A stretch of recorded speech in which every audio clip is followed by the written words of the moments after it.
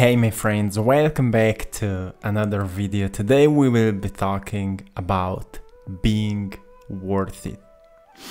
So, awakening the feeling of worthiness within is a huge celebration of life because many people are feeling unworthy.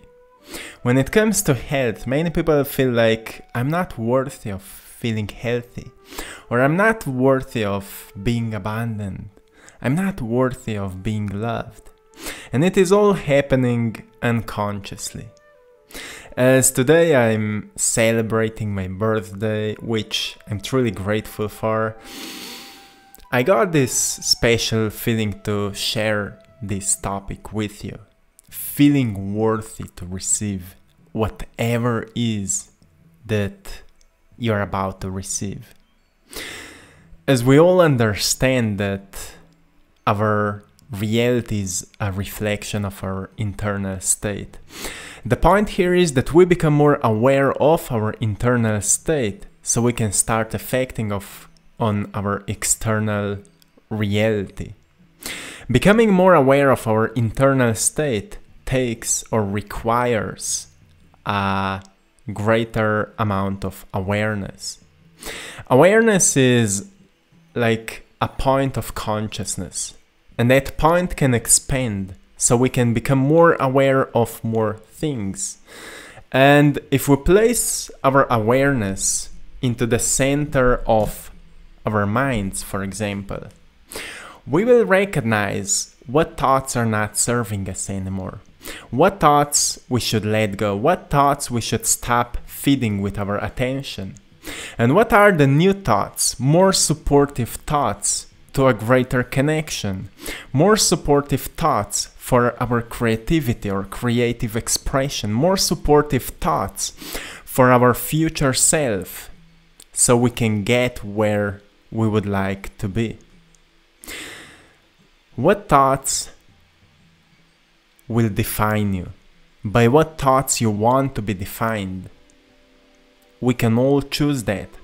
And with our attention, we are feeding the thoughts. Think more about that and less about that. Become more about that and less about that. But when it comes to becoming, it's not about thinking the thoughts. We need to feel them. Because if thinking is happening in the mind, feeling is happening in the body.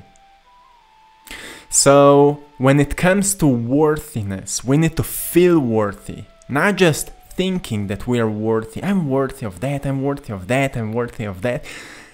Do you feel it? Do you feel if you say, I'm worthy to receive that abundance in my life? Do you feel it? Or it's just an empty word? Statement, let's say that way. Feeling it means that we become aware also of our bodies in the present moment. Usually, our bodies are in the past, feeling emotionally our past experiences. But in the present moment, all we feel is joy, love, happiness, infinite abundance. Everything is present. But we need to step out of the frames of the past so we can experience present in its full state.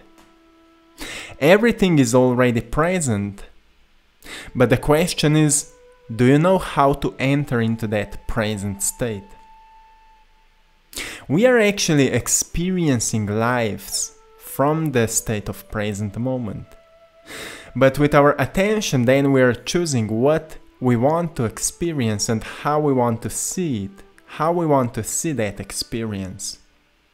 So with our perception, usually we are thinking a little bit about the past, a little bit about the future, and because body is always following the mind, body is feeling emotions from our perception. Oh, those events from the past, those events which are coming in the future, let's let's feel it, right? So body is always feeling different events. But once we fully get into the present moment, in the now, feeling the breath, breathing in and breathing out, And one more time, breathe in. And just be aware in which areas of your body that air is traveling in. And breathe out. And just recognize the emptiness in the now. And now say, I feel worthy of that breath. And breathe in. And feel it. Breath is life. And you are worthy. You are worthy of life. And breathe out. And now breathe in love and feel it. And say, I am worthy of love. So I will treat myself like that. And I will treat everyone around me like that because everyone is worthy of love. If I am worthy of love, everyone is worthy of love. Let's not make any difference between one another because we are all equally worthy of everything we choose. So remember that worthiness we always can choose to feel worth it, but it's a practice. It's a consistent repetition of practice, feeling it until it becomes unconscious state. Until it becomes unconscious state that you are worth it, because you are. But I can't say to you, you are worth it and you will change. Also, I can't say to me, I'm worth it and I will change. Because we have so many programs in our minds thinking we are that way, we are that way, this is who I am, this is how I should feel, this is how I should think, and so on. But not many times we are consciously reprogramming ourselves who we want to become. And however we think, we start developing our future self like a blueprint in which direction we are going, who we are about to become. If we are constantly thinking same thoughts, we will not change much, just get older. So let's think greater thoughts, inspired by the vision of the future, which actually can uplift us, uplift the spirit, which can connect us on the deeper level of consciousness, of which is already connecting us. You know, the web of life, a divine matrix, or however we want to call that great web on which we are connected while we are thinking of a certain person and suddenly that person is calling us on the phone or we are th thinking about certain thing and suddenly somebody else or a random person start talking about it that's how everything is connected. So let's use that connection for the greater good. If we are constantly complaining, we are using that connection for manifesting those things that we're complaining about. And then we say, oh, it's always happening to me. Let's use that connection for the greater good. Oh, I love how people are waking up. I love how people are becoming more self love oriented. I love how people are becoming more creative. You know, we have many challenges, but people are so creatively thinking about solutions, and not just that. I'm so inspired when I see that everybody is taking actions in their life so we can all create changes. For myself, I've decided I will paint, I will share the message with you, I will do things which inspires me, and I will share that inspiration through me with you. But some people will find it in other ways. Someone will become a doctor, someone will become a scientist, someone will become a mechanic.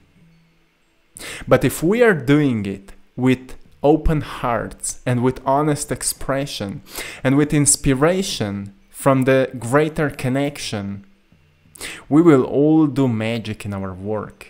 And that's the beauty. So, being inspired by that divine force which is connecting all of us, is the greatest form or the greatest way we can create changes.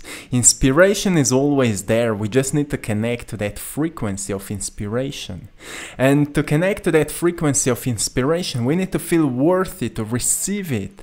We need to feel good about ourselves, we need to have some fun, we need to enjoy our lives a little bit more. There are states of misery, there are states of being stressed and being afraid. Like I was talking yesterday a little bit about that. When we are at the bottom, we can't see far away from us. We need to go a little bit higher and stop ourselves and just observe and reflect our lives to see, well, I could do those things a little bit differently.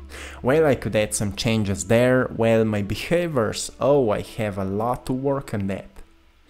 And my habits, okay, yes, if habits are consistent repetition of certain action, well, I will need to take more time with new actions. But I'm ready to create those changes, so I'm willingly ready to go through anything will happen in front of me. Because I'm ready. Because I feel worthy of changes in my life. And that's where change starts happening. We need to feel worthy. So, this is it, my friends. This is it for today. I'm sending you love, blessings, and power.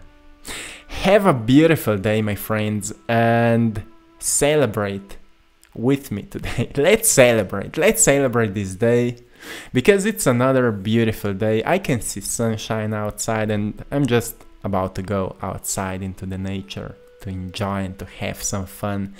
So I'm sending you all love once again. Have a beautiful day and see you soon. One love.